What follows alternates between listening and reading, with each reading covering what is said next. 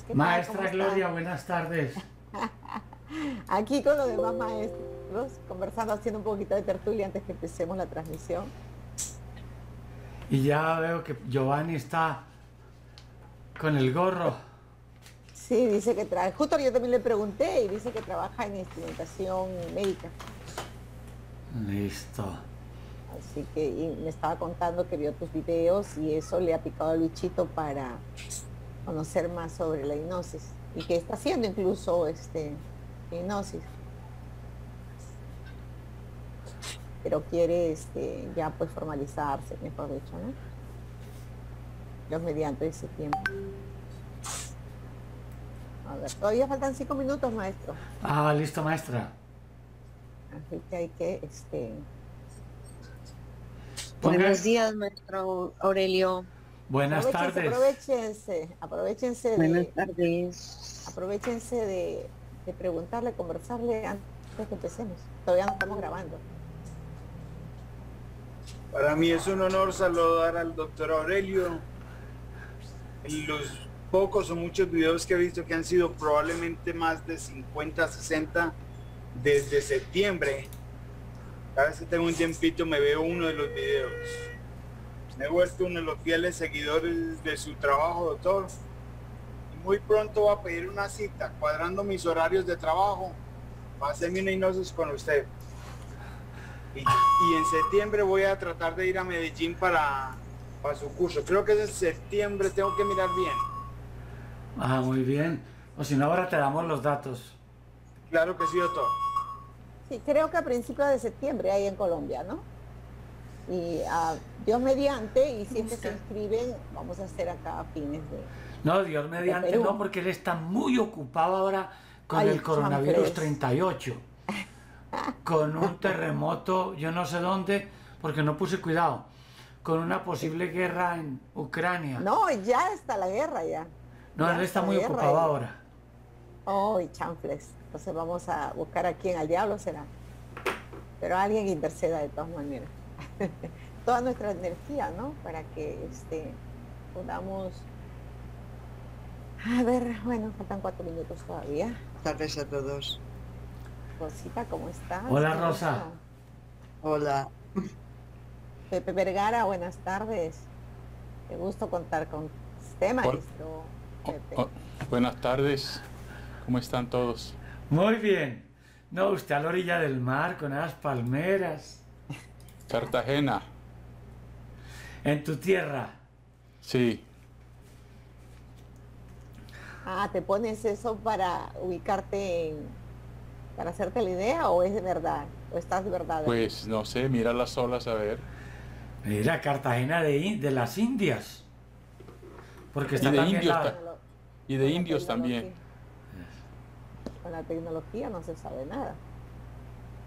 Y no se y puede creer.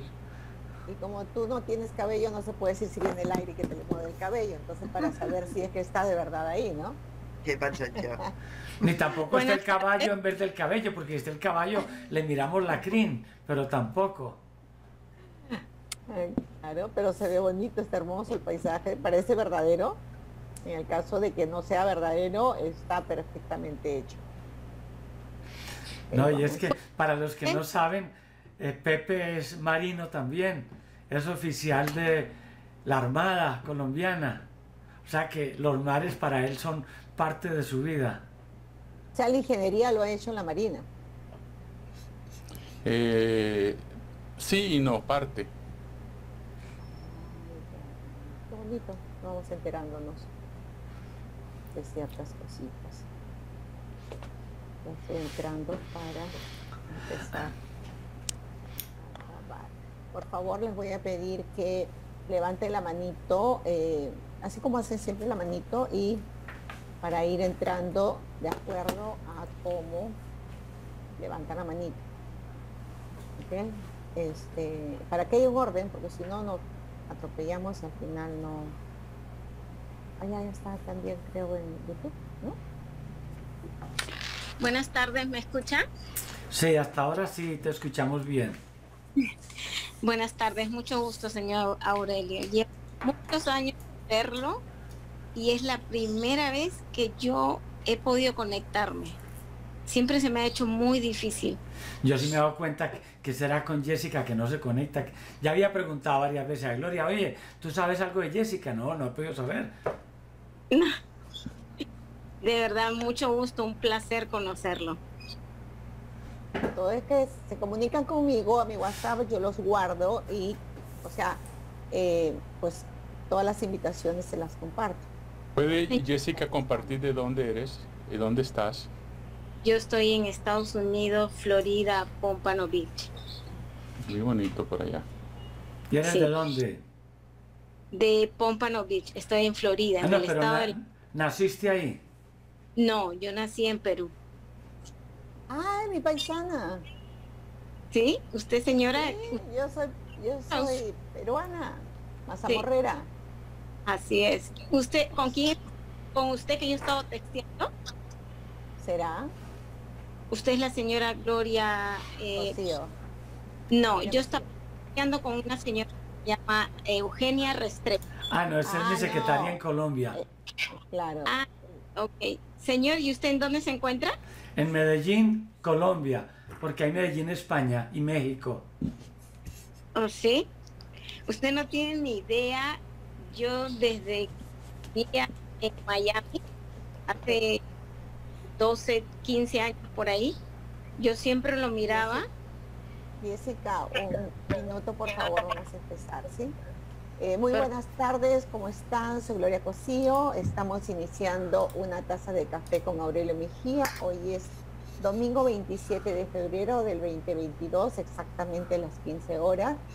Eh, nuestro tema de hoy día es eh, experiencias, anécdotas que hayan tenido sobrenatural, ¿no? O paranormal, como le quieran llamar. Pero intentamos comentar todo esto y a la vez bueno, todas nuestras energías para que haya paz en el mundo, ¿no? A raíz de todos estos conflictos que están habiendo, unámonos todos para eh, que Dios mediante, o quien sea mediante, porque ahorita Aurelio me va a, decir que Dios está muy ocupado en, en, tantas cosas, pero que esperemos que pues alguien toque la cabeza de estos mandatarios, dejen sus egos de por medio y haya paz nuevamente. Ok, maestro Aurelio, muy buenas tardes.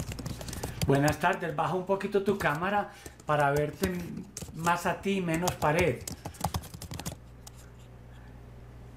Bueno, he sabido de muchos que el hombre cuando no puede explicar lo desconocido suele llamarlo sobrenatural o paranormal. Sobrenatural no hay que explicarlo, que está por encima de lo natural, cosa que no comparto porque para mí todos los fenómenos de la naturaleza son naturales. Lo mismo paranormal, que está más allá de lo normal. Es de la palabra parapsicólogo, que está más allá de los psicólogos. Pues bien, hoy vamos a compartir experiencias que de momento no es fácil explicar o que no se sabe cuál sería la explicación. Mientras cada uno va acordándose de experiencias que ha tenido, yo cuento así rápidamente algunas personales. Una que ya he repetido en otros foros, pero como aquí me supongo a gente nueva, hace por ahí 15 o más años, cerca de 20, estaba yo con mi hijo en la casa, Alejandro, y al mirar por la ventana vimos un ovni. Rápido tomé los binoculares y Alejandro empezó a mirar y dijo, no, es que no hay uno, hay dos. Me los pasó y efectivamente yo vi los dos. El uno acercándose al otro.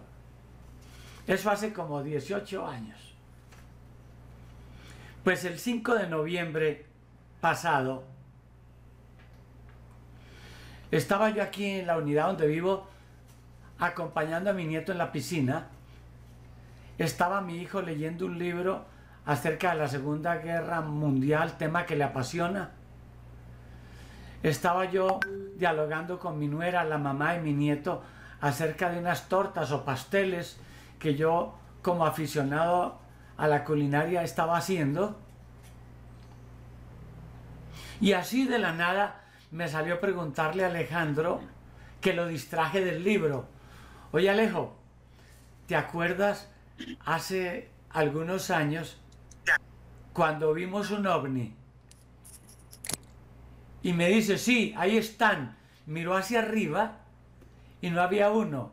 Alcanzamos a contar 13. Qué curioso. En ese momento no estaba ese tema en el tapete. ¿De dónde saqué yo eso? ¿Y por qué mi, mi hijo mira hacia arriba y dice, sí, es que ahí están? Primera cosa que no entiendo.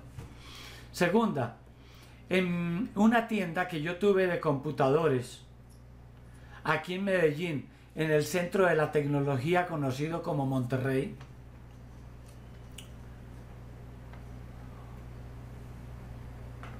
tienda que yo había vendido hacía poco a alguien de Bogotá y él se había quedado hasta con los empleados, con los técnicos.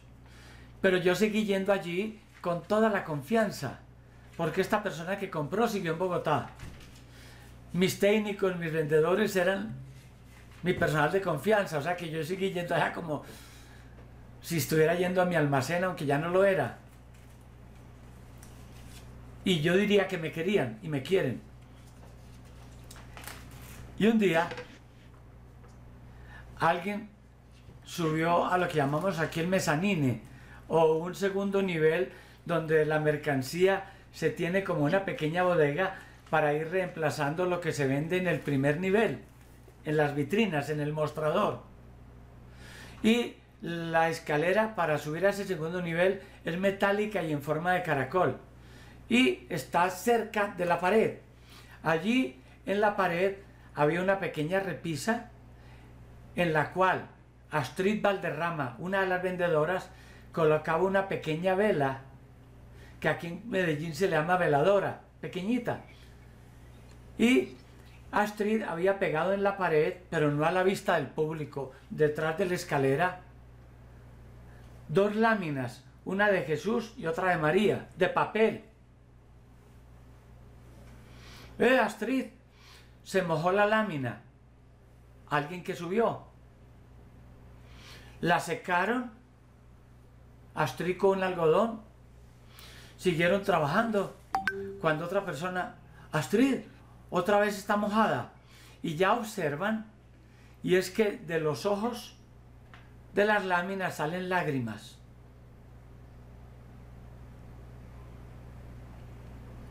Eso fue grabado con mi cámara, lo que yo compartí después en internet alrededor de cinco años después, porque en ese momento los que fuimos testigos, yo pienso que más de 20 personas, nos pusimos de acuerdo. Yo le sugerí que no dijéramos nada, porque Colombia había acabado de pasar por un fenómeno que llamamos Piendamó, donde una niña campesina dijo que había visto a la Virgen y durante varios años se vendió allí agua de Piendamó, la vela de Piendamó, la lámina de Piendamó, la correría a Piendamó, el viaje turístico a Piendamó. Se volvió un lugar de correría, como decir el camino de Santiago en España, pero en proporciones menores. Entonces digo, no vamos a decir nada. Tanto que ni mis vecinos del centro comercial Monterrey se enteraron porque si hubiéramos dicho, pienso yo, los corredores se hubieran llenado de velones, de veladoras, de velas. Estarían vendiendo agua del grifo como agua bendita de Monterrey. Entonces ahora viene la pregunta. ¿Cómo se materializó durante tres días que se repitió el fenómeno? No solamente en nuestro almacén de Monterrey de computadores, sino en una habitación del Hospital San Vicente de Paul, a donde Astrid y su esposo Alejandro llevaron las dos láminas en un folder a donde una joven que tenía cáncer. No supimos si la joven sanó o no sanó. El hecho es que allí en la habitación, al extraer las láminas del folder, también lloraron. Y en la casa de Natalia, otra de las vendedoras, la mamá y la abuela querían conocer dichas láminas. Al terminar jornada laboral, todo mi personal se fue a hacer visita con Natalia a, a su casa. Y estando allá mostrando las láminas, la abuela pega el grito en su habitación. Aquí también, aquí también. Un cuadro de lo que llamamos en la religión cristiana el corazón de Jesús, enmarcado y con vidrio, también comenzó a llorar, por dentro y por fuera del vidrio. Yo palpé ese líquido. No era agua normal. Era como una lágrima porque las lágrimas tienen aceite. Esto parecía lágrima. Pero no tuve la precaución de con una jeringa recoger eso para después hacerlo analizar, porque ya llevábamos tres días con el fenómeno. Error que cometí. Eso se recogió en algodones y los algodones quedó Astrid con ellos, que era la dueña de las láminas, y Astrid en la actualidad vive en Miami. Conclusión que ya no volví a saber nada de ella. Y ella se llevó las láminas. Pero estas lágrimas que corrieron por ese papel no dejaron lo que llaman marca de agua. Usted derrama una gota de agua por una lámina que tenga impresa y deja huella, que llama marca de agua. Esta no.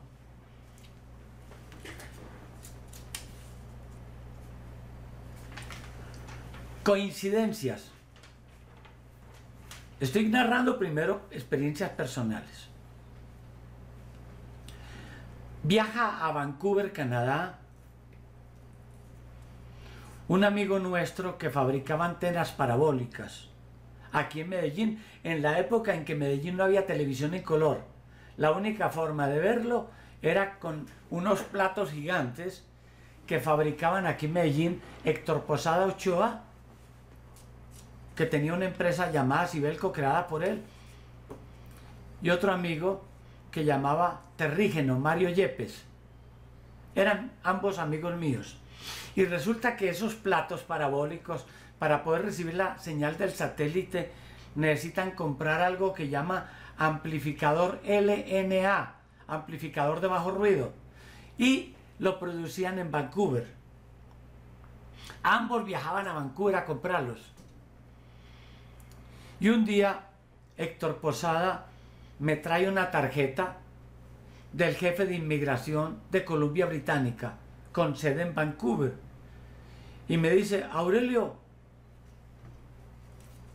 Mark Hogan te quiere conocer. Le hablamos de ti. Y él te quiere conocer. Que cuando vayas a Vancouver lo visites. Imagínense, me trae la tarjeta del jefe de inmigración, Mark Hogan. Yo nunca había ido a Vancouver.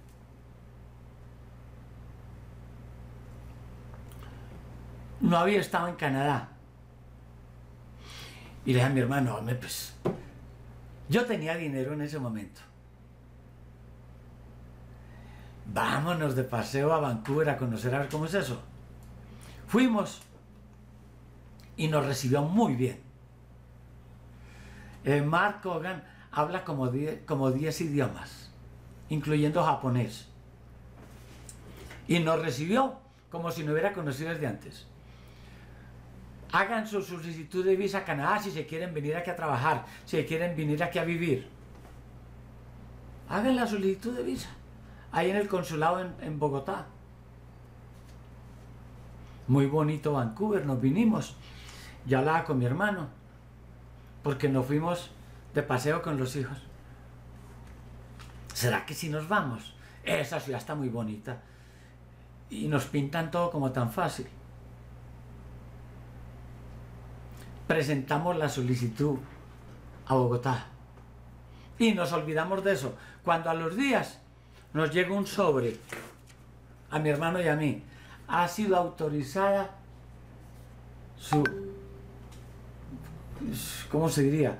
Su visa a Canadá, pero para ir a vivir allá, a trabajar. Su visa de inmigrante ha sido autorizada. Cuidado, la niegan, sabiendo que, que la autorice Mark Kogan la iban a, a negar. Entonces ya llega el parangón. Bueno, ¿qué hacemos? La visa da cierto límite de tiempo para viajar. Si no se viaja, se pierde. Nosotros no conocíamos a nadie más en Canadá. A nadie. Mark Hogan, que la acaba de conocer. Bueno, cerramos los ojos, mi hermano y yo. Nos vamos. Y como la visa fue para todos, nos íbamos 12 personas. Mi papá, mi mamá, mi sobrino, mi todos. Pero no conocemos a nadie. Ojo que aquí viene ya lo interesante. Le preguntó a una prima, oye Luz Elena, ¿no conoces a nadie en Canadá? No, yo no conozco a nadie, pero yo tengo una amiga que ha oído decir que tiene un hermano en Canadá. Pues averigualo, porque vamos para Canadá a vivir y no conocemos a nadie. Y nos da el dato. El teléfono, que se lo consiguió con la amiga. Llegamos a Vancouver y lo primero que hago es llamar a ese fulano. Don fulano, soy Aurelio Mejía, vengo de Medellín, soy amigo de su hermana. Ay, que me... Perdóname, afortunadamente soy ateo. Eso eran mentiras. Ah, no, son bienvenidos aquí. Pero resulta que yo estoy en Calgary, yo no estoy en Vancouver. Pero se acaba de ir a Vancouver a vivir, a trabajar, un amigo mío aquí de Calgary. Estos son sus datos. Llámelo de parte mía, pero no le diga mi nombre porque él me conoce más por el apodo. Papas. Dígale que usted es amigo de Papas.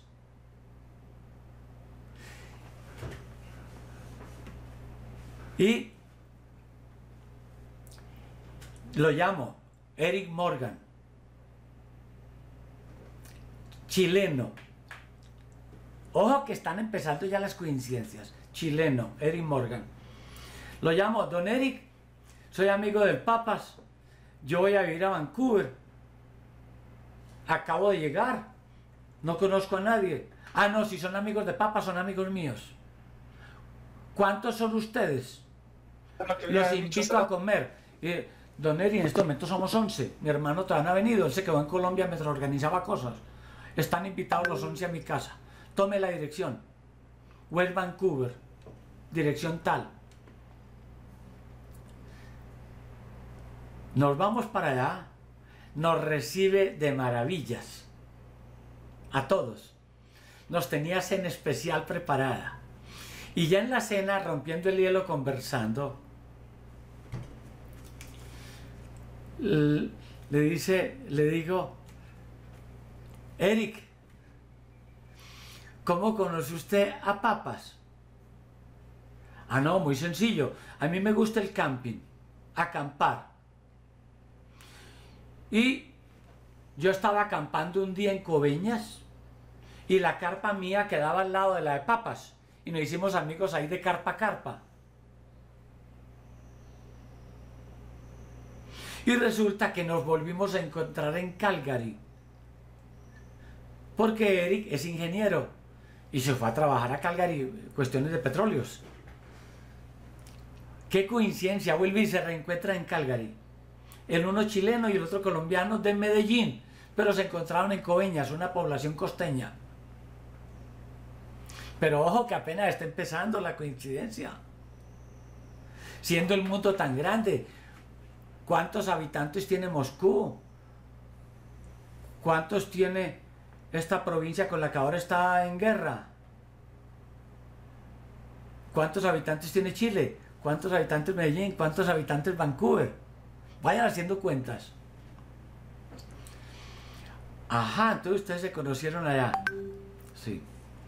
Pero me dice Eric, pero una cosa, yo también viví en Medellín su tierra. Ah, usted vive en Medellín. Y cuénteme una cosa, Eri, ¿usted qué hacía en Medellín?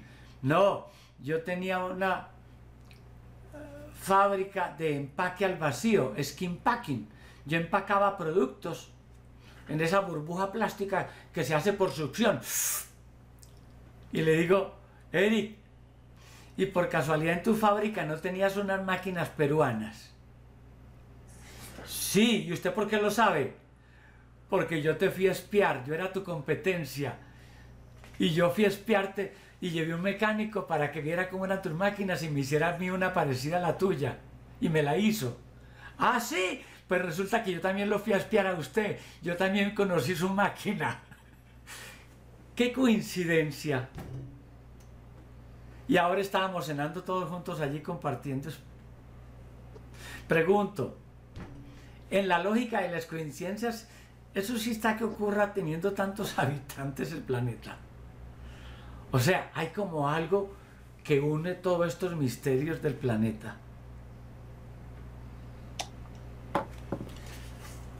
Bueno. Ahora sí, alguien que diga alguna cosa. Allí está Ramiro alzando la mano. No, Gerlin está desde el comienzo. Eh, pon tu cámara, Gerline, para que puedas compartir. Esto de los encuentros creo que es en general, ¿no? Porque nosotros también encontramos a los a las parejas, a nuestros compromisos, a los amigos, eh, porque se supone de que hay una energía poderosa que nos mueve como títeres a nosotros, ¿no? Eh, digo, es mi opinión. Gerlin, buenas tardes, preséntate por favor. Buenas tardes, mi nombre es Gerlin Long, de la bella isla de Aruba. ¿Cómo está, doctora? ¿Cómo está, don Aurelio? Soy colombiana. contigo. Soy colombiana. Muy bien. ¿Tenía alguna experiencia para contar? De Santa Marta. De Santa Marta. Bueno, de Santa Marta. Usted no sabe que yo estudié en Santa Marta. Usted no sabe que yo estudié en el gimnasio Santa Marta y en el colegio San Luis Beltrán, junto a la Quinta San Pedro Alejandrino, en la avenida Bolívar. Hablando de la coincidencia. y comía tamarindos ahí en las afuera de la Quinta San Pedro Alejandrino. Todavía existen, eso no es un monumento de Santa Marta. Ya usted sabe que esos son árboles, yo no sé, yo creo que todavía no había nacido y todavía siguen ahí. Sí, es que coincidencias. Pero yo salí de allá desde niña, yo estoy aquí en la bella isla de Aruba de los nueve años. Muy bien. Yarlin, ¿y tienes alguna anécdota paranormal?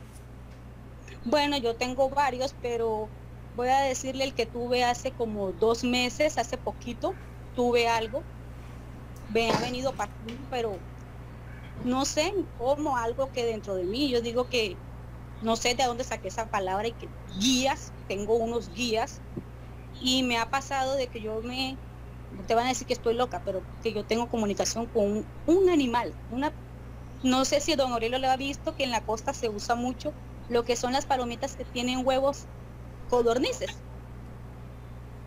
Sí, en todas partes hay huevos de codorniz.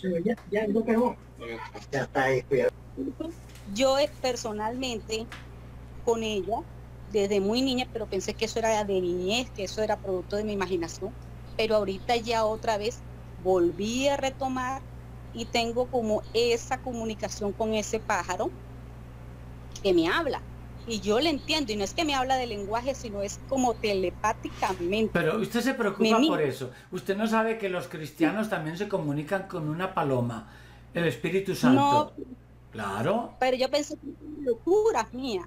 Y hace poco yo le pregunté a mis guías y les dije, si esto es una mentira, es una locura, porque yo no lo puedo hablar con nadie, me van a decir que estoy loca de Pero ahí estamos hablando de un fenómeno que, que tiene que ver más como con tu psiquis, que, entonces, yo le pregunté, le dije, guía, si es verdad que existen, que si son verdad que ustedes están aquí conmigo, yo no sé por qué siento que tengo alguien, tengo alguien que me dicta, que me habla, que me dice las cosas y, y he puesto mucho sentido y eso me ha ayudado mucho en mi vida. Porque antes yo era... Entonces te despido porque el tiempo está muy cortico, hay mucho que contar y, y, es apenas una hora.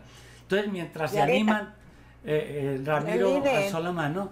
Y Arlene, entonces tu compartir es de justamente lo paranormal, es que se paranormal. comunicar, te puedes comunicar con un ave. Ese es tu compartir. Sí, mi compartir. Ok, ya al final le vamos a pedir la opinión del maestro, porque nosotros podemos creer que en Dios y que no, el otro, pero él que no cree en Dios, se comunican también con una paloma.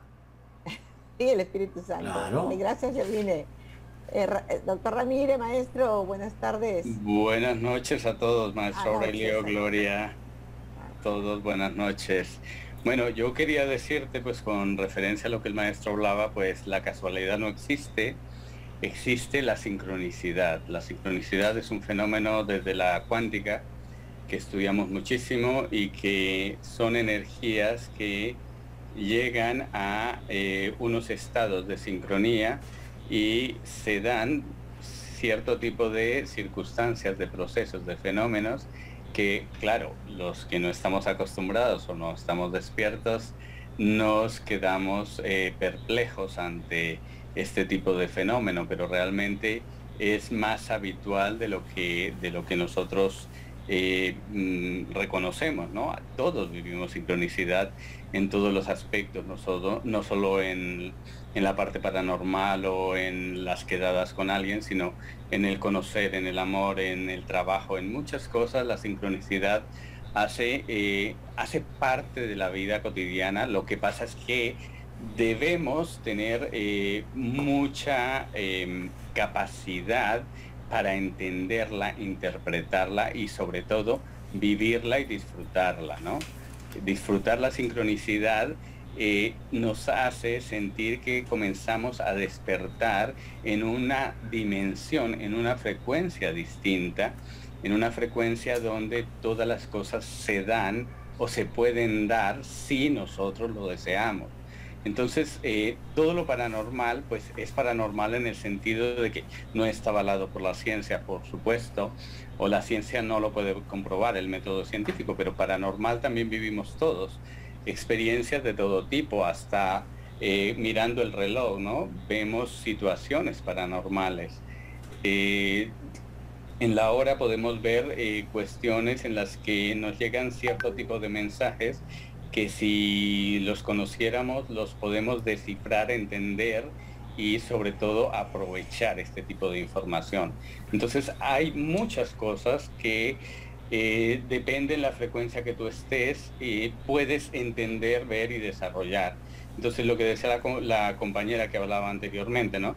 Eh, puede ser de la psiqui, pero si tú despiertas, si tú estás atenta, lo trabajas, lo conoces y además lo haces tuyo, finalmente te darás cuenta que es una información que te da el universo o como tú lo quieras llamar. Entonces, lo paranormal simplemente es porque la ciencia o el método científico no lo puede avalar, porque no se pueden hacer ningún tipo de pruebas de algo que ya ha pasado y hacer que vuelva a pasar, porque el método científico se basa en que tú lo tienes que comprobar y volver a repetir y volver a hacer un cuadro estadístico. Entonces, lo paranormal existe y en nuestra, en nuestra cotidianidad, perdón, la sincronicidad es el fenómeno paranormal más inmediato que nosotros tenemos. Pero es una cuestión muy mucho de la física y de la ciencia y del ser energía que somos gracias, maestro. Claro, la causalidad que le decimos, ¿no? Ojalá que nos alcance el tiempo, Yerline, porque me muero de curiosidad para saber cuál es el tema de conversación del pajarito. Eh, Patagonia, abre tu micrófono, te presentas, por favor. Hola, ¿cómo estás? Eh, mi nombre es Johan González, como siempre me presento como Patagonia, estoy aquí en la Patagonia Argentina, soy venezolano. Eh, primero que todo, eh, estoy de acuerdo con lo que acabas de decir en, la pequeña introducción sobre la paz en el mundo. Espero que esté así. Otra cosa que siempre le he admirado al doctor Aurelio es que lo afín atrae lo afín. Eh, cosas paranormales, como, el tema de hoy. Eh, bueno, tengo como dice varias anécdotas. Como dice el doctor Aurelio, estamos cortos de tiempo. Pero le voy a decir algo en breve. Eh, hace muchos años, tenía, era menor de edad, estaba en Venezuela y eh, por casualidad de la vida me mudo de mi, parte natal, eh, Valencia, que es el centro de, Venezuela, a un pueblito que se llama Tinaquillo, San Carlos, Cabo Cogede, y bueno, me puse a estudiar y conocí una persona, joven, estoy hablando de, no sé, 17, 18 años, ya tengo hoy 43, pero me quedó marcado algo eh, muy especial, porque cuando empiezo a conocer a esta persona, me voy a visitar a su familia. Y en su familia había una muñeca al estilo gitana, ¿ves? Y da la casualidad que había ido varias veces, pero no le había tomado en cuenta la muñeca. Conozco a la abuela de esta persona, que en ese momento era como mi novia, era mi novia en ese momento, y bueno, este, veo la muñeca y le hago el comentario de que en, la casa de mi abuela, en otra zona, estoy hablando a 12 horas de distancia, hay una muñeca igual, pero con diferente vestido. Entonces, bueno, empezamos a interactuar, conozco a la señora, eh, en ese momento nos tomamos unos tragos y me dice, ¿de dónde es, esa, eh, ¿de dónde es tu familia? Y yo le digo, del oriente del país. Y empezamos a hablar y hablar y da la casualidad que la abuela de esa chica tuvo amores con mi tío eh, por parte de madre y ella le dio esa muñeca como regalo a mi abuela, eh, porque mi tío no tenía en ese momento cómo darle un regalo al Día de las Madres. Y, y bueno, tenía dos muñecas, una se quedó con ella y una se quedó en, hoy en día está en la casa de mi madre, en, Oriente. Entonces, algo totalmente, eh, bueno, este, no sabía, empecé a hablar con mi tío y le dije, mira, este, me pasó esto, esto, y cuando le dije a la, a la abuela de esta chica, le digo, mira, este, mi tío se llama fulano de tal, y me se quedó totalmente en blanco. Me dijo, tú eres hijo de, tú eres sobrino de, de, Alberto, se llama mi tío, y se quedó totalmente en blanco. Me dice, wow, ¿cómo es posible que no nos conocemos, no sabemos nada, pasaron X cantidad de años, que venga una persona que ya yo había olvidado y me venga y me, toque este punto porque creo que, según ella, me dice que ella pensaba que en Venezuela no habían dos muñecas iguales, sino esas dos. Una con vestido rojo y una con vestido azul. Es algo eh, muy, personal. Es algo que, bueno, marcó esa punta.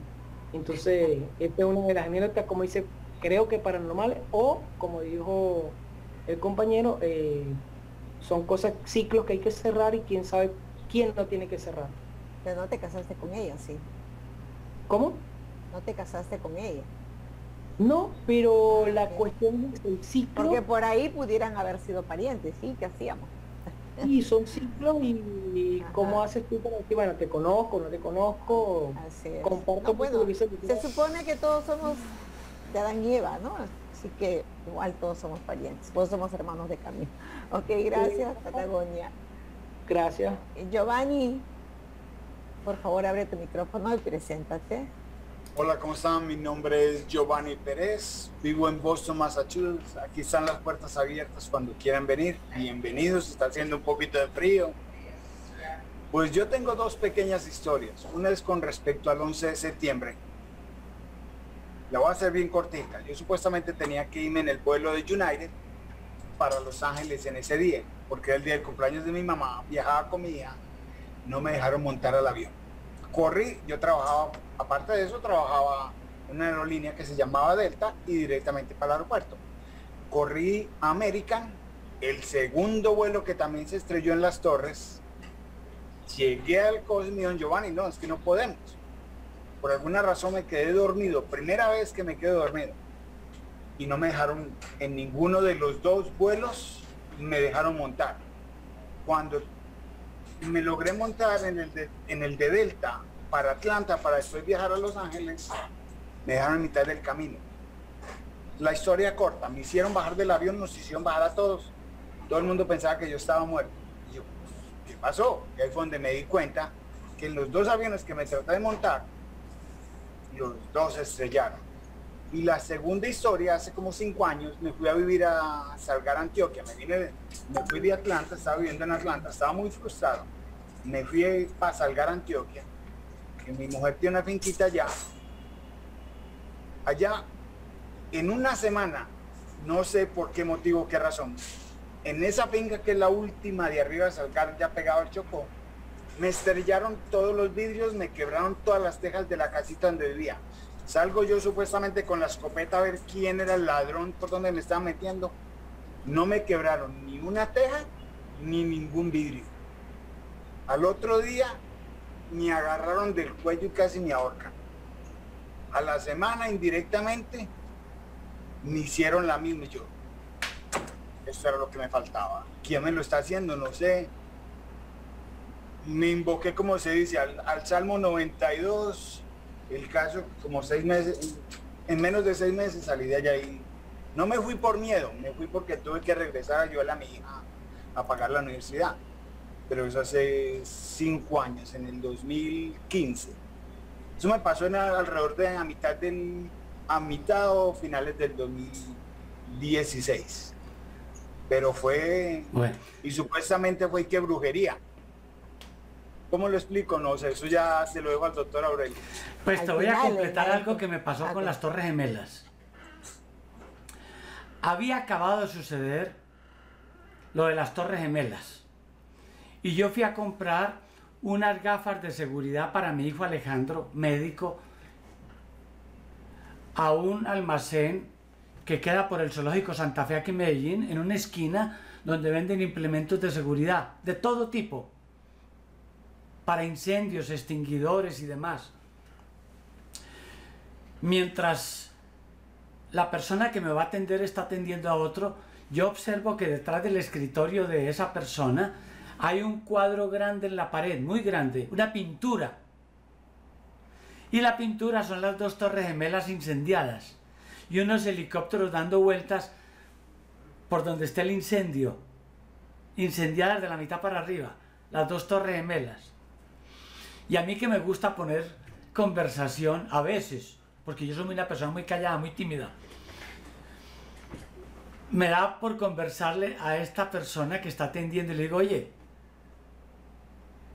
el jefe tuyo sí escogió un tema, pero bien de actualidad, bien propicio para ilustrar esto de implementos de seguridad. Mandar pintar ese cuadro. Vea, señor, si le digo algo, ese cuadro no fue pintado ahora. Ese cuadro fue pintado mucho antes de lo de las Torres Gemelas, que mi jefe, para decorar aquí el almacén, le pidió a un pintor que se imaginara algo que tuviera que ver con todo esto. Y ese pintor se imaginó las torres gemelas que usted está viendo ahí. O sea, muy curioso. Pero, ya para terminar es esa intervención mía relacionada, el Titanic es un barco muy grande que se hundió al chocar con un témpano de hielo. Pero resulta que 14 años antes, el novelista norteamericano Morgan Robertson, Robertson significa el hijo de Robert, Morgan Robertson, escribió una novela cuyo título en español es Futilidad y en inglés el naufragio del titán. Qué curioso. Y 14 años después se cumple exactamente lo de esa novela en un barco llamado, no el Titán, el Titanic. Tal como este novelista lo describió. Por si lo quieren buscar en internet, que es muy interesante, busquen Morgan Robertson. Como decir Roberto, son. Titanic. Entonces, uno dice, ¿eso es normal? ¿O son fenómenos que no entendemos? Así parece, maestro. Sí, yo también he visto películas que han hecho cosas similares a lo del COVID, ¿no? Entonces, y años después teníamos esta cosa del COVID. Araceli, gracias Giovanni. Araceli, abre por favor tu cámara. Araceli. ¿Qué tal? ¿Cómo estás? Buenas tardes. Abre el micrófono también, por favor. Oh, ok, ok, listo. Ahora sí, adelante. ¿De dónde nos contactas? De Costa Rica. pero no mire mis audífonos, ¿verdad? Porque es un conejito. ah, un regalo que me hicieron. Eh, yo soy fan admirador de veo todos sus videos por YouTube y tengo la intención de poder tener una sesión con él. Bueno, mi caso de paranormal te voy a contar que teniendo yo seis años, tengo 50 y 63, pero teniendo seis años, mi mamá me mandó a hacer un mandado donde mi abuela, a buscar algo. Yo pasé todo el camino, que era más o menos un kilómetro, todo estaba bien recogí lo que iba a llevarle a mi mamá y me devolví. Pero a mitad del camino había una cerca de alambre y había un poste. ¿Entiendes que es un poste? Un palo que sembraron ahí para sostener la cerca. Ok. Cuando yo iba de regreso había recostada a ese palo una señora se veía de una edad bastante grande, vestida de café, con un pelo largo y cada vez que yo quería acercarme, ella me hacía con su mano. Entonces yo me devolvía. En eso estuve como desde las 10 de la mañana a las 2, 3 de la tarde que regresé donde mi abuela llorando y le conté la historia a mi abuela. Entonces mi abuela me fue a dejar a la casa, pero mi abuela no la pudo ver. Esa señora la vi solo yo y yo no quería pasar, bueno, ahorita hasta que se me eriza la piel cada vez que me acuerdo de eso. Eh, yo, yo, yo no podía pasar por ahí porque yo le tenía pánico a la señora que no sé quién era. Y a mi abuela eh, bajar debajo de la cerca y dar una enorme vuelta por el potrero y cuando yo llegué mi mamá me iba a sonar, pero mi abuela no la dejó. Eso para mí ha sido un misterio. Y otra cosa, en el lugar donde vivíamos era solo tierra negra ahí no había tierra colorada. Y después de eso se hizo un cerrito así pequeño, como de unos cuantos centímetros de tierra colorada, cosa que llovía, tronara y ahí es un lugar muy ventoso y eso nunca, nunca se deshacía. Estaba el cerrito completo ahí y yo no volví a pasar ahí sola porque me daba miedo. Eso es algo paranormal, lo cual yo quisiera saber qué pudo haber sido eso. Pero cuando tenga la sesión con don Aurelio, se lo preguntaré a él personalmente. Tal vez él ahora me puede explicar algo de eso. No, ahora no, porque estamos en muchos los temas que tratar. Don Aurelio. Más bien hablamos después porque son muchos los temas y el tiempo es muy corto. Y como dijo el doctor Montaño, este, bueno, son cosas que no se pueden explicar, ¿no? Definitivamente. Algún mensaje vendrá en tu sesión, tal vez deba salir. El doctor Wilmer Hoyos, adelante. Gracias, Gloria, y buenas tardes para todos. Qué gusto. Gracias. Bueno, mi experiencia es eh, prácticamente es la razón por la que estoy acá y pues ya con Aurelio la hemos compartido y, coincido mucho con lo que dijo Ramiro ah, ahorita y con parte de lo que dijiste tú, que es todo el tema de eh, el tema energético. Y de alguna manera pues estamos como conectados a ese, a ese mundo de energía o a ese algo que nos une y que nos comunica. Y era digamos que eh, en algún momento cuando quise empezar a abordar todo este tema de la hipnosis, eh, buscando precisamente a, Aurelio, eh, después de 25 años de haber trabajado con él, pues buscaba como el acercamiento con él para aprender de la hipnosis, eso fue el año pasado. Y, por temas de, relaciones con unos compañeros que terminamos ahí con, con la parte del trabajo, pues me compartieron el libro de, Aurelio eh, y pues me puse a leerlo porque Aurelio ya se había vuelto inalcanzable y súper famoso con sus terapias, entonces este personaje pensaba que ya eh, volver a contactar a don Aurelio pues iba a ser casi que imposible. Entonces, dentro de esa sintonía con, la lectura de la hipnosis, el libro de don Aurelio, al segundo día de estarlo leyendo en un centro comercial, pues eh, me puse a meditar sobre un punto que tenía ahí en observación don Aurelio y a sorpresa cuando me pongo a mirar hacia un lado y va pasando don Aurelio al frente mío. Y, ahí fue donde lo llamé y, bueno, le mostré incluso a don Aurelio que, estaba leyendo su libro y precisamente lo que acabaste de mencionar, Gloria, lo, me decía don Aurelio que no eran casualidades, sino causalidades de la vida. Después de más de 20 años, vernos en el preciso momento en que estaba leyendo mi libro en el café del centro comercial Viva. Juan Valdés, sí señor, ahí fue.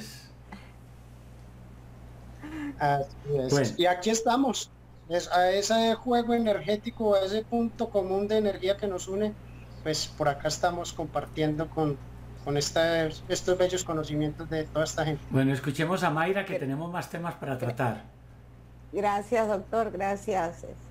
Mayra, por favor, abre tu micrófono. Buenas tardes, preséntate. Buenas tardes, Mayra. Este, yo he tenido varias cosas paranormales, varios eventos paranormales, pero uno que me ha dejado sin como muy entenderlo. Sí, exacto. Este hay mucha gente que se enoja cuando oye hablar de este tema. La gente que no que no le guste, pues pido, pido respeto nomás. Pero a mí se me aparece la Santísima Muerte en mi casa y la miré a las 6 de la mañana. Se me apareció y le tuve miedo, pero luego hablé con ella y le dije de que así físicamente no, no me daba miedo verla, que si se me puede aparecer en sueños y cada vez de que yo la miro se me siento como casi como que se me duerme la cabeza y ella se me aparece y se me ha aparecido varias veces. La miro en sueños la he visto cerca de mí y también a veces miro como se me aparecen cosas que vienen me tocan la cabeza y miro cosas. Pero esto es como en sueño. No sé, eso también quiero preguntarle a él en mi sesión. Sí, este tema se, se, prestaría mucho para especular y darte una respuesta súper larga, pero que no aclara nada, porque estamos hablando de algo que tú has visto en sueños, o sea, algo que es psíquico. No, pero lo vi en la vida, lo vi real. Primero vi como una sombra y luego se fue transformando y yo pensaba que era mi hijo y no era mi hijo y no estaba dormida la primera vez que lo vi porque le dije a mi hija, mi hija prende la luz pero teniendo cuidado de que ella no lo fuera a ver. Y cuando ella prendió la luz se me desapareció, pero yo, yo ya la había ya la había rechazado, o sea que la vi y no estaba dormida la primera vez que la vi. Listo, entonces este es un fenómeno que es personal y, es subjetivo. O sea que se lo vamos a intentar porque no le tenemos explicación. Pero vamos a uno que no es subjetivo, que sí han sido testigos muchísimas personas. Voy a hablar de uno en especial que lo pueden buscar en internet, aunque ya va a ser más difícil encontrarlo porque internet, internet YouTube lo ha retirado. Y enseguida explicamos por qué lo retiró. Me refiero a uno de los varios mediums famosos que hay en Brasil. Lo voy a decir en español el nombre para que lo busquen. Joao de Deus. Traducido al inglés, John of God. O en español, Juan de Dios. Pero el nombre con el que lo van a encontrar más en internet es Joao de Deus. Joao de Deus. ¿De qué se trata? En Brasil hay varios mediums que hacen cirugías psíquicas. Delante de la gente y delante de médicos te sacan tumores y demás del cuerpo haciéndote cirugías con un cuchillo cocina, con una navaja, ocasionalmente con un bisturí, sin guantes, sin anestesia, sin asepsia. Eso está muy documentado ya en la televisión. Rodrigo Gaviria es un cirujano plástico amigo mío aquí en Medellín, dueño de una clínica muy buena de cirugía estética. Y Rodrigo un día se fue para Brasil a ver esas operaciones. Vino y me dijo, Aurelio, sorprendente, porque las hacen delante de la gente ahí de pie, en ningún quirófano. A veces ocasionalmente una mesa ahí de madera, paredes de madera, sin medicamentos de ninguna clase. Pero voy a mencionar algo de Joao, de Deus. Puede que encuentren algo, aunque digo ya han retirado mucho y les voy a explicar luego por qué. Aurelio, ¿por qué no lo hace ya? Porque a mí me gusta poner suspenso para que me pongan cuidado. Joao hizo algunas de sus cirugías que tengo grabadas porque las bajé antes de que las quitaran con los ojos cubiertos con una toalla, completamente cubierto, y operando y haciendo operaciones de nariz, de pólipos, de ojos, de toda clase. Ahora sí viene el cuento, ¿por qué lo quitaron? Tenía un centro allí en Brasil muy reconocido, iban políticos, personas importantes de muchas partes del mundo que conocían su fama. Sanaciones reales. Pero algunas mujeres lo empezaron a acusar de acoso sexual, de abuso sexual.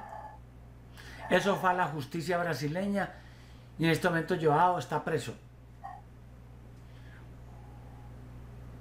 Inmediatamente le cerraron el centro que él tenía. Lógico, ese pueblo ya se empezó a morir porque ese pueblo vivía del turismo espiritual, del turismo espiritista. O sea que afectó muchísimo la economía de ese sector.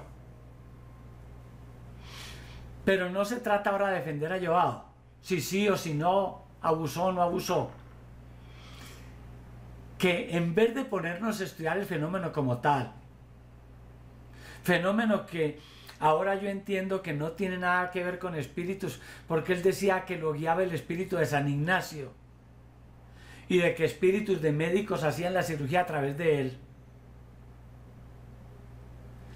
Si lo del acoso y eso es verdad, y él está en la cárcel, eso significa que no había tales espíritus de bondad, tales espíritus guías que lo apoyaban, porque si así lo sabía, ¿por qué permitieron que sucediera esto con él, que ayudó a tantísima gente a sanar?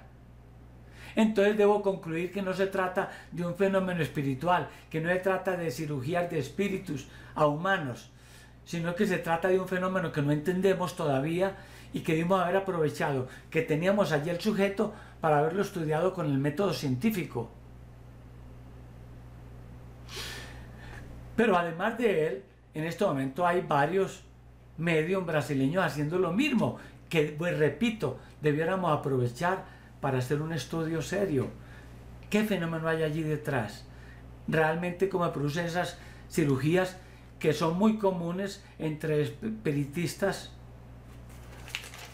de Asia. Jacobo Grinder creo que lo estuve investigando y desapareció. Así que por eso es que será que ya vamos a querer a seguir investigando. no creo que haya algún voluntario para ir a desaparecer luego. Gracias Aurelio. Piedad, abre tu micrófono por favor, ya nos queda poco tiempo. Después sigue Calhuac. Que sea breve porque nos gane el tiempo. Piedad, a la una. Ten piedad, piedad. Dos. bueno, no está piedad. Calhuac Calhuac, dice así. Caluj. Ah, Caluj. Perdón, buenas, buenas noches. Ah, voy a abrir mi cámara, un segundo. Ah, ok, Calvo, entonces esperamos un ratito. Ah, sí, sí, está. Mucho gusto. Eh, sí, bueno, eh, mi, mi, mi uh, apodo viene de, me llamo Carla, Carla Huertes, por eso que... Ay, ay, ay, ay, ay. Bueno, yo quisiera manifestar un... Um, primero, primero, buenas noches a todos.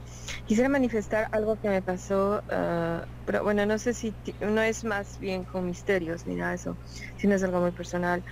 Uh, cuando yo era muy adolescente, siempre tenía en la cabeza que quería viajar, que quería irme de mi, de mi ciudad, de mi país, etcétera.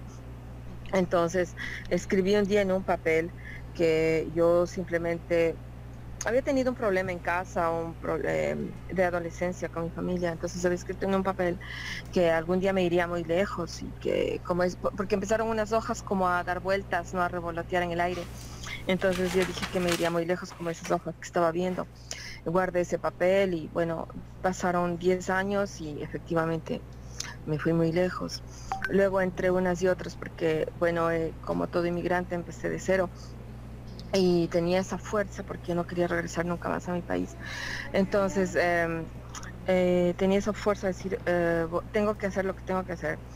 Eh, de momento que mm, pueda mantenerme ¿no? en, lo que yo quiero hacer. Entonces, bueno, yo tengo mi profesión de maestra y resulta de que uh, poco a poco iba yo teniendo muchos trabajos, pero eh, diferentes, digamos, había veces que yo no los quería, yo me iba, tenía otro, tenía otro. Entonces me empecé a dar cuenta que ciertas agencias en Inglaterra querían como tener em, longevidad en los trabajos, entonces yo dije, pues ¿y ahora qué hago? Porque a cada vez me daba cuenta que había un obstáculo, como que en uno longevidad, en otro querían distintas mm, características en, lo que, en lo que yo presentaba. Entonces en, una de esas le, le llamaba a mi prima y le digo, mira, necesito una recomendación de alguien que diga simplemente lo que voy a poner en una hoja. Entonces, mi prima me dijo, ok, de momento que es por ayudarte de manera profesional, yo lo voy a hacer. Entonces, en esa hoja escribió varias características, pero muy, muy específicas, con un trabajo supuesto que yo había hecho, pero claro, el fin, el fin era positivo, el fin era benéfico, porque yo lo que quería únicamente era trabajar. Ah, entonces, eh, honestamente, y tener un trabajo apropiado a mi capacidad y a, mi, a mis la aspiraciones. Carla. Las expectativas, bueno, es que, es que eh, eh, de pronto me llama la agencia y me dice, mira, hay un trabajo así, así, yo paso la entrevista y esto, entonces de pronto la agencia me dice, mira, el trabajo es tuyo. Y cuando empecé a ver, era la misma dirección, era la misma cantidad de infantes que iba a tener prácticamente todas las características de nacionalidad y todo lo que yo había puesto en la primera hoja se reproducía en la vida real con lo que yo estaba haciendo. Bueno, eso. Entonces, siempre me extrañó. gracias. Esa es, la, ley de la Bueno, perdonan este metiche. Perdonan este metiche porque este metiche va a decir algo súper interesante, ya que ya habló de hojas revolotear. Lo cuento bien rápido. Yo soy benefactor de una comunidad religiosa que llama Pequeña Apóstoles de la Divina Redención, videos que he compartido últimamente en internet, y del Hogar del Niño, que es un sitio para niños huérfanos de padres vivos también, y padres muertos. Resumo, tenemos lo que llama el dormitorio público Nuestra Bañera del Carpinelo, video que está en YouTube hace más o menos 15 días, y que grabé hace alrededor de 30 años en mi canal. Y el dormitorio público Nuestra Señora del Carpinelo está en un sitio aquí de Medellín, muy cerca del centro, pero que es una zona medio roja. Pero precisamente allí es donde más nos necesitan con la obra, porque como su nombre lo dice, es un dormitorio para que personas de la calle tengan una buena cama, una buena ducha, una buena comida para ir a dormir. Empezamos con señoras, mujeres jóvenes y hasta ahora no hemos conservado así, no lo pudimos ampliar a hombres, pero prestamos el servicio con mujeres. Yo estuve en el momento de la inauguración, ya les dije por qué. Y el, el dormitorio tiene una puerta de garaje, de garaje, de cochera. Y una noche que llego ya a hacer visita, están estas monjas medio asustadas. En el mismo momento que yo llegué, antesitos antes, ¿Y qué pasó? No, la hermana tal llegó en la camioneta. Le abrimos la puerta del garaje, la cochera, para que entrara su carro, porque recuerde que es una zona medio roja. Y el momento en que abrimos la puerta se formó un remolino de viento, una turbulencia. Y en ese remolino de viento, en esa turbulencia, la monja me cuenta, yo vi unos billetes dando vueltas ahí en el aire, al lado de mi ventanilla del, del, del auto. Y yo saqué la mano y agarré esos billetes que estaban flotando, dando vueltas ahí en el remolino. Los agarré. Pero ¿cuál es lo, lo extraño de la cosa? Estábamos construyendo un dispensario médico para primeros auxilios de personas y necesitamos un dinero para una puerta del dispensario. No me lo van a creer. Fui testigo en ese instante. La cantidad de dinero que ella agarró en el aire era el dinero que estaba monitando para esa puerta. Aurelio, pero es que eso es una zona rica y la gente tira los billetes a la calle y después el viento hace un remolino, los levanta. ¿Cuál zona rica? Es una zona pobre. ¿Y la exactitud del monto? Aurelio entonces fue que asaltaron a alguien ahí y los ladrones no alcanzan a llevarse todo el dinero y se les derramó eso. Tampoco hay así gente rica como para asaltar en ese punto. Bueno, continuamos. Ah. Pepe tiene la mano Bueno. alzada hace rato. Ok. Está- Sí, eh, Piedad está antes porque no estuvo, eh, pues referente a lo que compartió Carla, eh, bueno, me hizo acordar de que yo también una vez corrí con la maleta en Año Nuevo a las 12 del día con la maleta alrededor de la cuadra, una manzana que le llaman, igual empecé a viajar, ¿no? Entonces, eh, pues porque yo creo, como dice el doctor Ramiro, eh, es la, es la, la cuántica, ¿no? Que tú comienzas a enfocarte en eso y lo atraes y se cumple, bueno, desde mi punto de vista. Así que vamos a ver, piedad, por favor. Después sigue Pepe.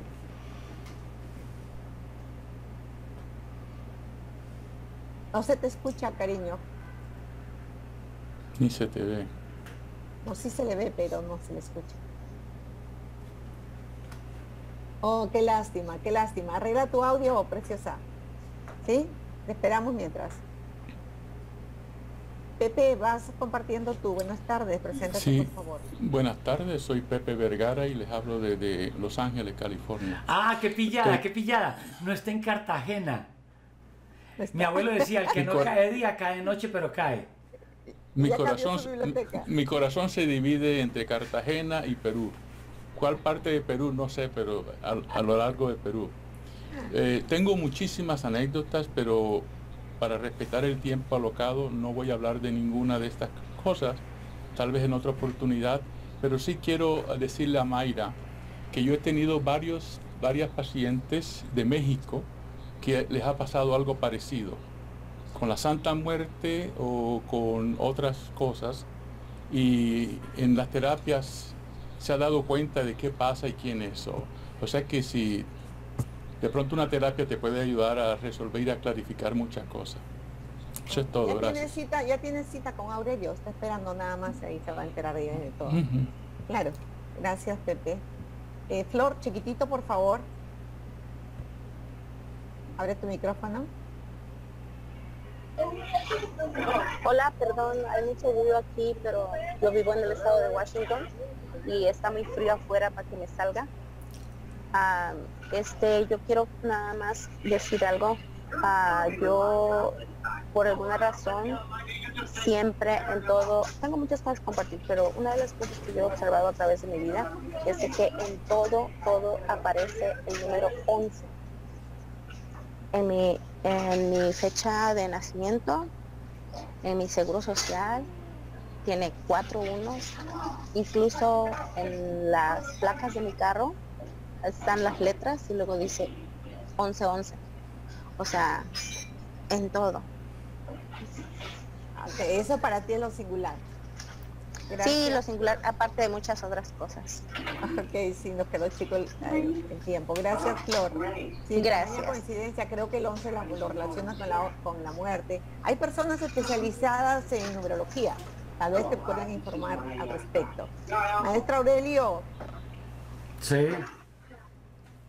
Ya vamos terminando, hay que hablar de los cursos. Creo que el doctor Ramiro Montaño es el siguiente en curso, ¿verdad Ramiro? ¿Vas a mencionarlo? Sí, el próximo 10 19 y 20 de Ya vamos a marzo hablar de los cursos. os esperamos a los cursos. 19 y 20 de marzo, ¿cuál es el curso? 19 y 20 de marzo, desarrollo multisensorial. Hablaremos y aprenderemos muchas técnicas para toda esta parte que estamos hablando hoy sobre eh, situaciones o vivencias paranormales. Eh, realmente es un inicio de una gran escuela que realmente tiene sentido y cómo entender la vida, cómo desarrollar muchas habilidades y cómo entender todos estos procesos que están fuera del alcance del método científico y que están ahí, que son reales, que los vivimos y que hacen parte de nuestra historia. Entonces ahí estaremos todos, os esperamos 19 y 20 de marzo y realmente trata sobre todo este tema y cómo entenderlos, cómo estudiarlos y cómo adentrarnos en ellos, porque podemos produ- provocarlos, producirlos y crearlos, ¿no? Y ya sabéis, donde ponemos nuestra atención es lo que entra en nuestra vida, entonces ahí vamos, os espero con mucho cariño. En También encuentran en la página del maestro Aurelio, ¿no? Ahí está el Sí, sí. curso. Está en la página del maestro Aurelio. aureliomejía.com. Ahí van a encontrar ese curso y el resto de cursos que en unos minutos nos va a decir el maestra eh, Yolanda. Eh, lo que yo entendí de eh, del maestro, del doctor Montaño es que nosotros todos tenemos el potencial para hacerlo.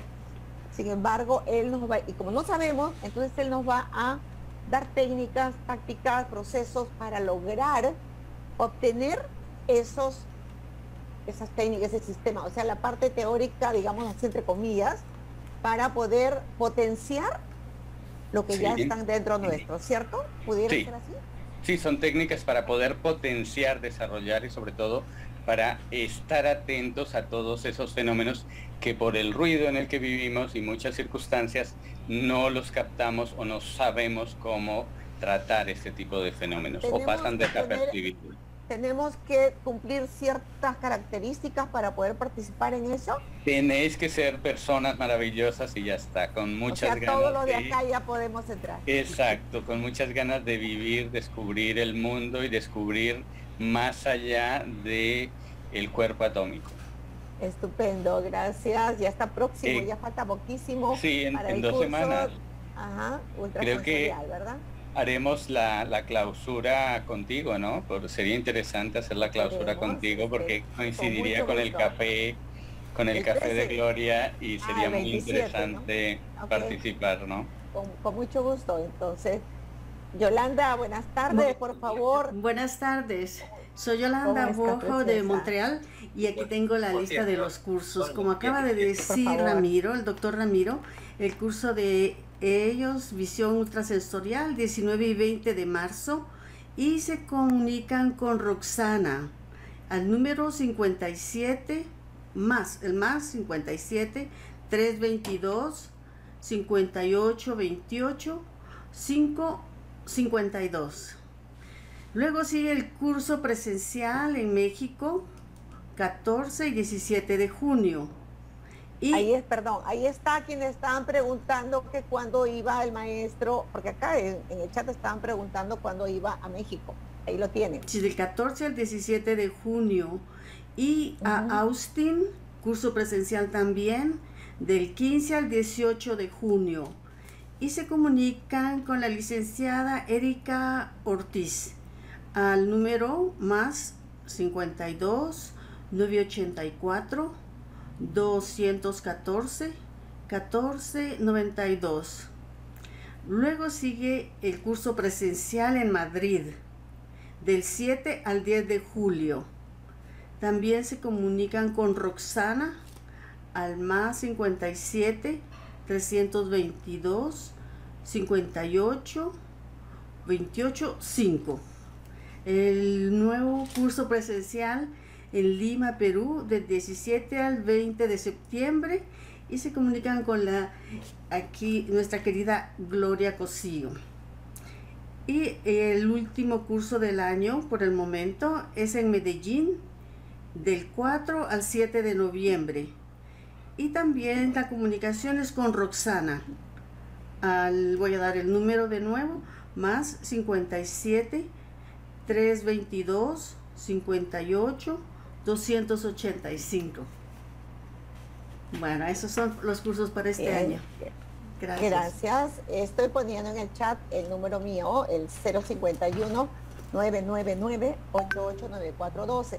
Es para el curso presencial en el mes de septiembre y además para yo tenerlos en lista, agregarlos y compartirles la información y compartirles el Zoom, compartirles para los siguientes eh, cafés que tenemos, ¿no? El siguiente vendría a ser el 13, creo, ¿no? Pero igual, estamos en frecuente eh, contacto.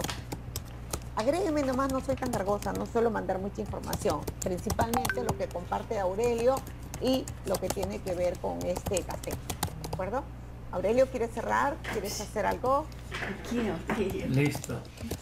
En la página del maestro www.aureliomejía.com arriba una pestañita donde dice eh, cursos, ahí está toda la información, están todos los detalles de las personas que dan la información, ¿de acuerdo? Sí. Ya he puesto yo también acá en el chat mi número. Bueno, entonces nos despedimos. Esta vez no voy a poder ir a ver las ballenas blancas del Ártico porque no pueden pasar por Ucrania y Rusia por temor a que las confundan con submarinos. Entonces esta vez no va a haber ballenas blancas del Ártico. Claro, hay que seguir orando para la paz. Pero doctor, eh, perdón, eh, maestro Aurelio, ¿qué así global, qué le dirías a todas las personas que nos han compartido esas cosas tan singulares? Que quién obra como obra. Ya lo dijo el doctor Montaño, pero de repente los que llegaron después qué explicación daría para dejarlos un poquito tranquilos. Sí. La pregunta ahí es, ¿qué somos? ¿Somos un cuerpo movido por una energía o somos una energía que tiene cuerpo? ¿Qué fue primero? ¿La materia o fue primero la energía que en el fondo desde cierto punto de vista también sería materia. Si lo vamos a tomar como fotones de luz o como cuantos de calor. La física de Newton asumía la materia y luego estudiaba las propiedades de la materia. Ya esto está dando un giro. Ya la física cuántica más bien, estudia la energía y las propiedades de la energía.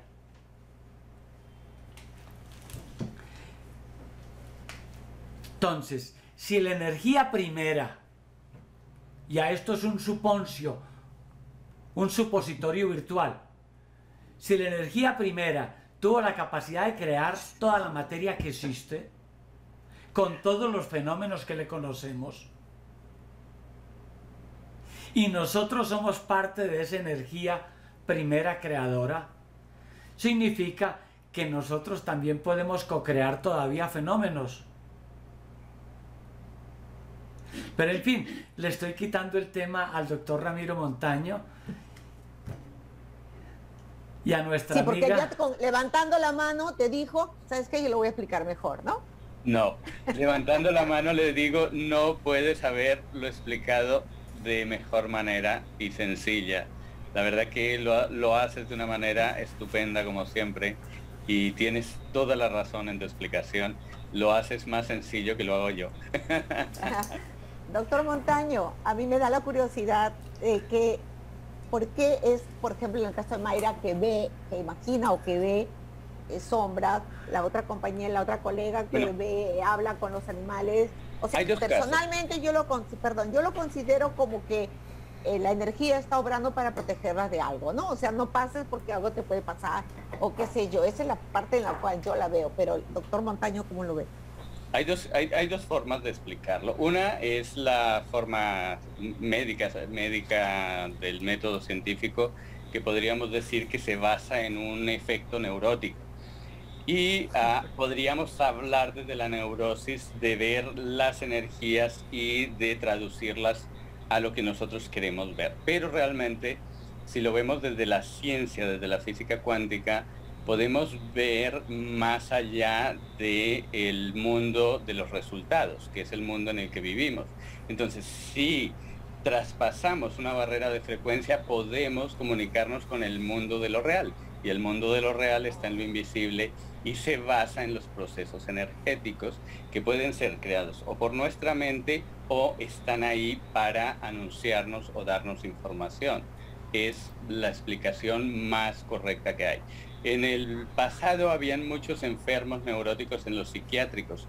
Hoy día, si os dais cuenta, los psiquiátricos están casi vacíos porque ya se está manejando todo este tipo de fenómenos de una forma totalmente distinta y se está ayudando a las personas no a que vayan al psiquiatra, sino que aprendan a manejar esas energías, evolucionen y trabajes con ellas porque son parte de nuestra vida, de nuestra realidad. Entonces es comenzar a aceptar que hay algo más allá del mundo de los resultados y como co-creadores, como ha dicho el doctor Aurelio, podemos co-crear o podemos ir más allá de la barrera de frecuencia atómica. Vea, miremos algo bien sencillo. Para los antiguos, los cavernícolas y demás, esto del internet, del GPS, de que algo en el auto me diga, avance 200 metros, gira a la derecha, tome por el carril de la izquierda, desvíese por aquí, eso yo decía, wow, paranormal. Y ustedes saben que eso no es nada paranormal. Para los Ahora antiguos. lo sabemos, pero los antiguos, claro. Para los antiguos, eh, ver la aspiradora que yo tengo aquí, robótica, redonda, que recorre toda mi casa aspirando, y cuando va a llegar a una pared o algún objeto, gira y lo evade. wow, pero si eso no tiene ojos, ¿cómo hace para evadir? ¿Cómo hace para no chocar? ¿Cómo hace para regresar al centro de carga? Sí, yo ya lo entiendo porque yo soy electrónico. Pero para un antiguo estamos hablando de algo milagroso, paranormal. Claro. Igual a nosotros también, Aurelio, nos llegan este, con diagnóstico de, psicosis y al final que nos que escuchan voces, esto y lo otro, y resulta que son hermanitos que tienen dentro y que le van diciendo cosas, ¿no? Para protegerlos o lo que sea. Y, y de psicosis física, biológica, no hay nada. Cuando yo era joven, niño, leía las historietas de Superman que tenía visión de rayos X y que podía ver a través de las cosas. Y ahora todos los aeropuertos tienen eso. Ven mi maleta por dentro sin abrirla. Ven lo maravilloso que es. Pues. Fue un placer realmente volver a contar con la participación de ustedes. Nos volvemos a comunicar el día domingo 13, Dios mediante. Bueno, otra vez yo dale con Dios mediante, ahorita Aurelio me da. Eh, les pido por favor que me escriban a mi WhatsApp 051-9999-889412 y yo les voy a mandar el enlace para el Zoom. Muchas gracias. No, pero un momento que usted me puso a pensar. ¿Usted cree que es que yo le escucho y yo no pienso? Yo le escuché que usted dijo que el año nuevo usted salió por la cuadra corriendo con una maleta dando la vuelta y que ahora viaja mucho. No, no, ya me dio la idea. No, no, en este año nuevo yo voy a correr dando la vuelta a la manzana con una joven bien bonita. No, sí, hace muchísimos años viajé porque eso es una creencia de que si tú sales con una maleta vacía a correr la, la cuadra o la manzana, este, viajas. Y en este caso viajé y de ahí no paré de viajar, ¿no? Entonces, eh, es, creo yo, no creo, estoy segura, es la ley de la atracción. Lo que tú te enfocas se multiplica. Entonces, si yo me enfoco en positivo, jalo positivo. Y Aurelio, ¿cuántas maletas habrá salido que recorre el mundo a cada momento, verdad? Sí. Y me han pasado anécdotas con maletas, pero sería tema de otro programa. Creo que continuamos la próxima con estos temas que están tan interesantes. Hay muchos que se han quedado sin participar. Y tal vez el doctor Ramiro Montaño ya nos pueda dar más explicaciones cuánticas. Pepe Vergara también se ha quedado y estoy segurísima con mucha información ahí. ¿Verdad, Pepe? Podemos continuar el tema y ya ustedes lo explican un poquito mejor. ¿Ok? Un fuerte abrazo, muchísimas gracias. Nos estamos comunicando el domingo 13. Vayan inscribiéndose para el curso del doctor Ramiro Montaño, de Vanessa y de Aurelio Mejía.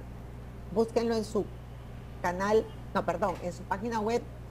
¿Vanessa o Johanna? Johanna. Johanna. Johanna, perdón, perdón, perdón. Johanna Navarro, perdón. Sorry. Ese era para ver si estabas atento, Pepe. Ok, gracias, un fuerte abrazo. Y sigamos orando por la paz del, del mundo. Un abrazo.